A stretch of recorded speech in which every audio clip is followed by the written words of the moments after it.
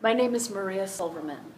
I'm fortunate to be the performer of Aftermath of Andrea Dworkin's manuscript.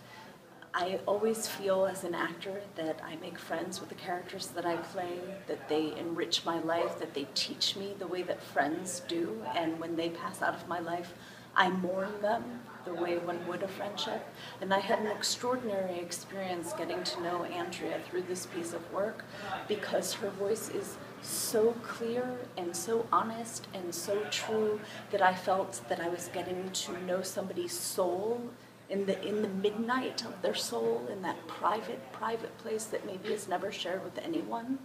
it's what i think is extraordinary in this piece that we all are given the gift of seeing this center of her soul and to be able to have that pass through me gives me a sense of great affection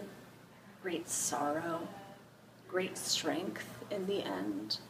And I think it gives us the greatest lesson that we can have in life, which is that if we communicate our story, we can move forward and we can survive.